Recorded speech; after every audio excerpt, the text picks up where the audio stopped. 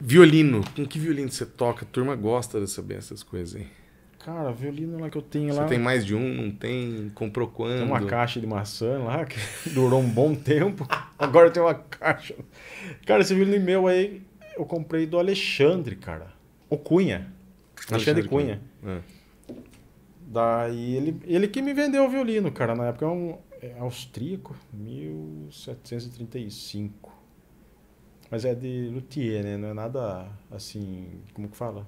Famoso. Catalogado. Não, não. Mas é. Mas violino que você procurou pelo timbre, Nada. por causa da gravação, não tem nada, a ver. Eu não tocava com um lá que eu vou falar pra você, cara. Nossa. O que, que você tocava antes? Ah, não vou nem falar o nome, cara. Era de tatuí da época. A vida inteira com o meu violino. É. Daí tava, deu esse negócio, de repente, meu irmão, eu, que o Alexandre começou a gravar comigo. Daí ele falou, ah, tem um violino aqui, né? que eu falei, ah, comprar violino, você é louco. Aquela coisa, comprar moto, comprar violino, nada. Daí no fim eu toquei no violino e falei, caramba, velho, dá diferença, né?